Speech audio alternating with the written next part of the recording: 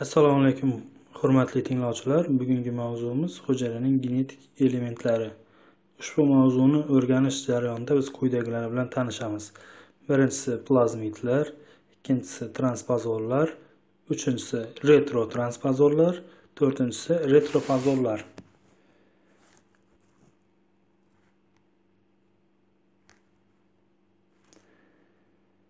Plazmid nima?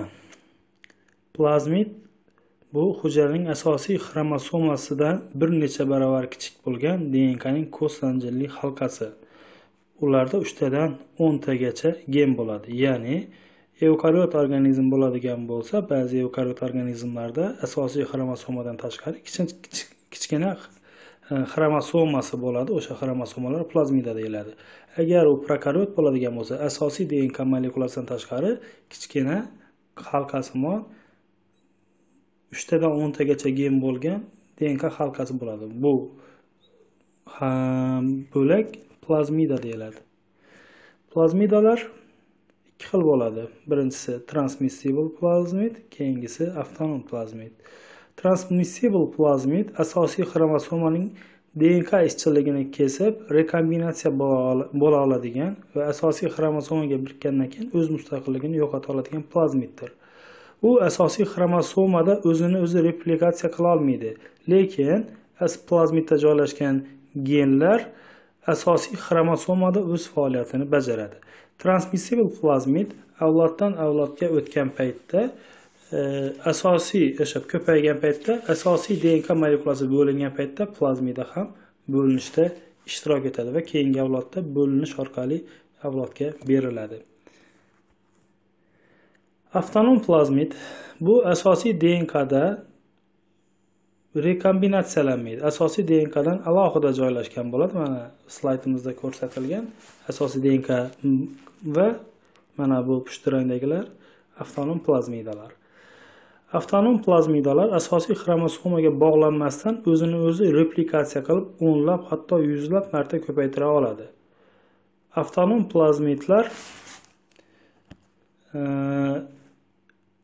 bir e, nasldan naslga berilganda e, yoki bo'lmasa bir hujayra ikkinchi hujayraga e, hujayraga o'tishi hujayraning membrana teshiklari yoki hujayra qobig'ida joylashgan teshiklar orqali bir hujayradan ikkinchi hujayraga o'tishi mumkin avtonom plazmidlar.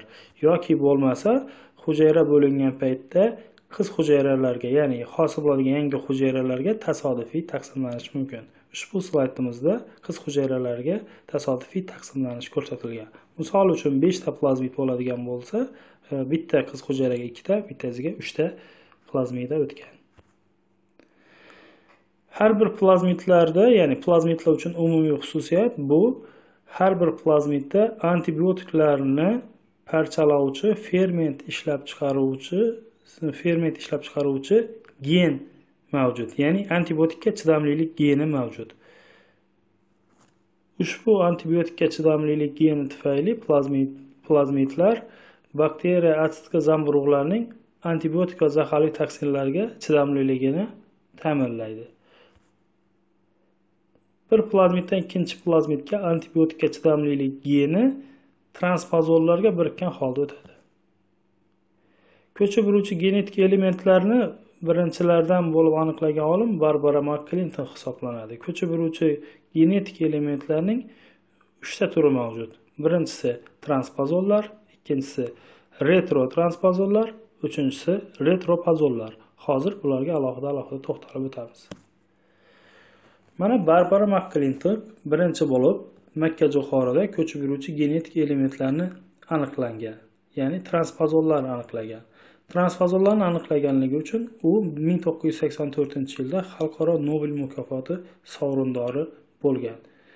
Undan tashqari boshqa olimlar ham e, ko'chib yuruvchi genetik elementlarni aniqlangan. Misol uchun amerikada bishov e, rossiyada georgiev degan olimlar e, mikroorganizmlarda hayvonlarda ko'chib yuruvchi genetik elementlarni aniqlagan. Transpazon o'zi nima? Transpozonlar dnkni bir joydan ikkinchi joyga ko'chib o'ta oladigan genomda joylashgan mobil elementlardir. Ya'ni ko'chib yuruvchi genetik elementlardir. Transpozonlar ko'chgan paytda o'zida markazida transpazaza fermenti bo'ladi. Transpazaza fermenti bo'ladi va ikki yon tarafida maxsus nukleotidlar ketma ketligi bo'ladi. Mana transpozon slaydimizning yuqori chap tarafida transpozon keltirilgan. Mana bu sariq qismi bu e, transpozaza fermentini fermentini sintez qiluvchi gen. O'sha gen dnkni ma'lum bir qismini kesadi va o'sha joyga ma'lum bir qismini bog'laydi va dnk polimeraza yordamida ulaydi. Ya'ni bir joydan ikkinchi joyga ko'chish vazifasini bajaradi. Demak bu sariqdagi qism bu transpozon hisoblanadi.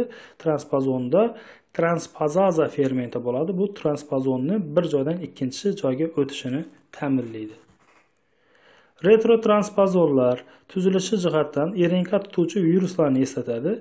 Bular teskari transkriptoza fermenti ya'ni revertaza fermenti yordamida o'z nusxalarini sintezlab boshqa joyga eski nusxasini o'tkazadi. Eski nusxasi esa o'z joyida qoladi.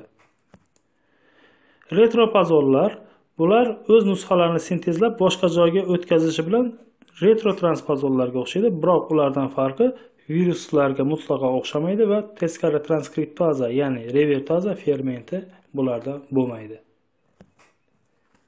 E'tiboringiz uchun rahmat.